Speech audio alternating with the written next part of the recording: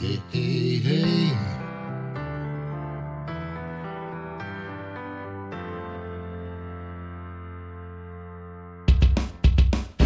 conversation, that there might be.